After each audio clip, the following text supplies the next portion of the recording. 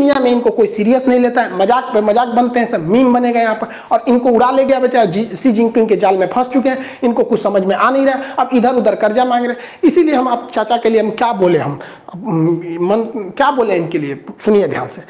नींबू के ऊपर नींबू और नींबू के ऊपर धागा। और इमरान खान की पत्नी को सी जिनपिंग लेके भागा। कहीं का तुमको, या ये तो होता है, चाइना जो है वो कर्जा देता है तो कर्जा के बदले या तो ज़मीन ले लेता है श्रीलंका की तरह नहीं तो इज़्ज़त ले लेता है, पाकिस्तान